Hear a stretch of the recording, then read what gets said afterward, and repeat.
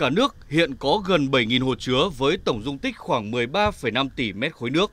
Trong đó, các hồ chứa lớn cơ bản đã được sửa chữa nâng cấp đảm bảo an toàn. Thế nhưng, các hồ chứa nhỏ được xây dựng cách đây 30 đến 40 năm theo các tiêu chuẩn thiết kế cũ, không đảm bảo an toàn khi gặp mưa lũ lớn vượt tần suất thiết kế. Theo đó, cả nước hiện có hơn 1.100 hồ chứa đang bị hư hỏng nặng, cần được sửa chữa.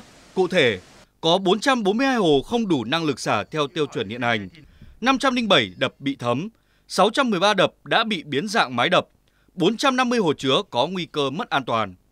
Trong đó, có các địa phương bị ảnh hưởng trực tiếp từ bão số 3 cũng có hàng chục hồ chứa không đảm bảo an toàn, cần đặc biệt lưu ý, bao gồm Ninh Bình 6 hồ, Thanh Hóa 24 hồ, Nghệ An 21 hồ, Hà Tĩnh 18 hồ. Hầu hết những hồ chứa xuống cấp đều thiếu hệ thống quan trắc, giám sát vận hành phục vụ hỗ trợ công tác chỉ đạo điều hành. Đặc biệt, nhiều hồ đập nằm ở các khu vực vùng sâu vùng xa, việc quản lý rất khó khăn.